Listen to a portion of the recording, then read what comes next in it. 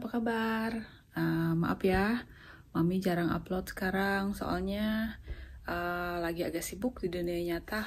Uh, jadi jadi agak males gitu bikin video, bukan males sih, cuma nggak ada konten. Jadi ya makan mie lagi deh kita hari ini, ya kan? Uh, selain itu juga di sini masih lockdown, masih ada sekitar dua minggu lagi, jadi masih belum bisa pergi ke mana-mana mau ke pantai juga ya gitu-gitu aja kan. Biasanya kita jalan tiap sore itu. Uh, ada beberapa cafe yang mami mau review di deket sini cuma nanti tunggu uh, lockdownnya selesai. Uh, di Indo gimana? Tambah parah ya katanya uh, ini pandeminya. Semoga cepat ketemu ya vaksinnya soalnya capek ya begini terus pengen balik normal lagi. Mami kangen banget pengen kulineran ke kota Melbourne.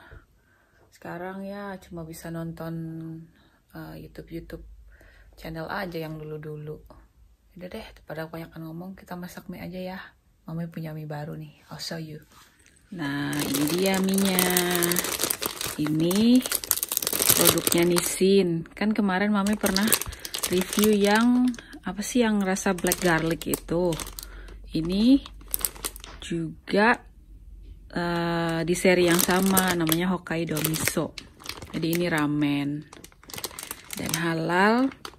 Ini itu buatan Indonesia tahu teman-teman ini MUI-nya aja MUI Indonesia nih. Tuh made in Indonesia. Ini di Indomaret ada nggak sih? Ini berapa ya belinya mami? Lupa. Ini isi 5 harganya kalau nggak salah 60 ribu. 60 apa 70 ribu gitu. Kita cobain ya semoga enak. Kita didihkan air. Sama nanti kasih satu telur. Ini miso apa sih? Kayaknya enak deh cepat minyak bulat begini. Yang ini bumbunya cuma ada dua. Kayak katanya airnya 500 ml terus dimasak 4 menit terus habis itu kasih bumbu. Oke. Okay. nah, bumbunya ada satu lagi nih? Kayaknya cabai jadi pas masukin minyak dia terjatuh ini telur udah masuk.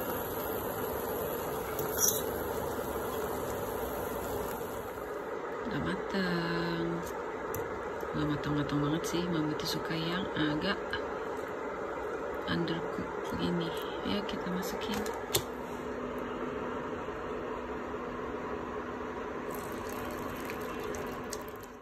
Tuh begini jadinya.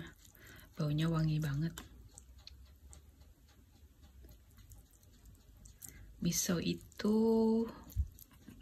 bean paste ya. Apa sih bahasa Indonesia nya cuma enak gurih. Bismillah. Hmm, sekarang kita masukin cilinya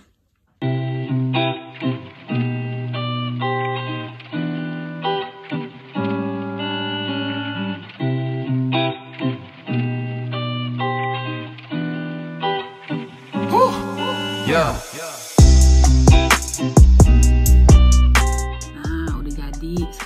Cobain ya. Ini udah dikasih cabenya juga tadi. Kuahnya dulu. Bismillahirrahmanirrahim. Hmm enak. Kayak miso sup itu rasanya. Oke. Minyak sama kayak yang kemarin itu. Kayak spaghetti teksturnya tuh. Bismillah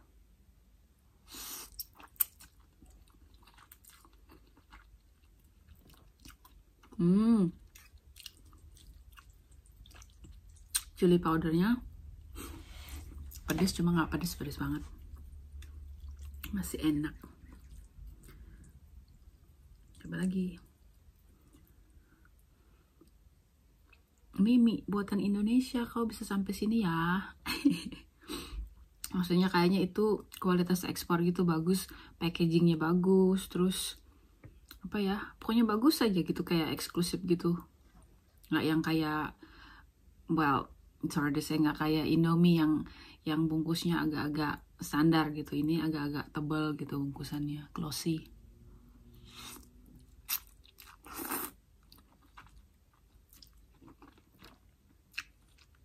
Hmm enak. Worth to try kalau kalian pas nemu coba aja ini enak kok. Tendensinya ke gurih. Tapi pedas juga ini bubuk cabenya. Hmm.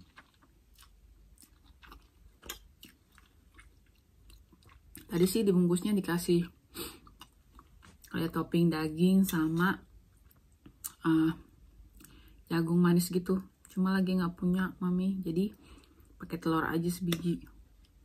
Tuh telurnya. Aduh jatuh. Astagfirullah. Overall ini enak loh teman-teman. Wajib dicoba. Hmm. Semoga ada di Indo ya kuahnya hmm hari ini Aki lagi sekolah jadi mami sendirian. Eh nggak sendirian sih. Ada Daddy di bawah lagi nonton Netflix. Karena ini cuma masak satu jadi nggak usah sharing sama dia. Hmm. Oke. Okay. ini enak.